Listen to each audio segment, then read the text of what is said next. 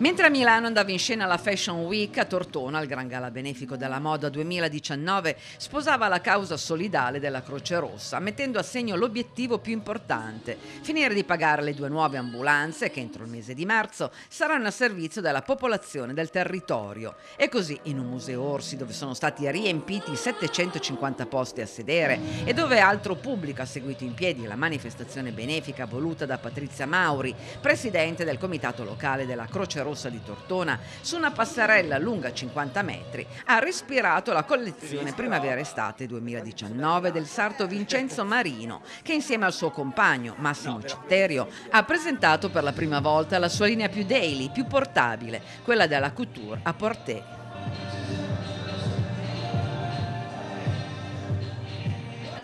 Presentato da Alessandra Della Ca, che ha illustrato le finalità dell'evento e ricordato che mancavano solo 5.000 euro per raggiungere l'obiettivo e che le due ambulanze erano già in fase di allestimento, il fashion show del Sarto ha fatto vivere ai presenti una bellissima storia d'amore dove gli abiti di chiffon si sono accompagnati ai parca in stile militare, dove capi virginali, pizzi e sangalli ispirati ai corredi della nonna si sono alternati a una serie più rock ed avant-garde con forme inedite e tagli sperimentali. Sul red carpet carpet hanno sfilato 177 abiti indossati da 30 modelle e 6 modelli per un totale di 81 uscite. Un piccolo grande record che ha incantato tutti, considerati i tempi canonici e molto ristretti delle passerelle milanesi. I protagonisti del gala benefico della moda non hanno mai perso di vista i volontari della Croce Rossa e l'ambulanza simbolo portata all'interno del Museo Orsi. A fine serata già si percepiva il risultato di un successo che è andato oltre ogni aspettativa. Ora la prossima grande emozione occasione sarà quella del giorno dell'inaugurazione di questi due preziosi mezzi,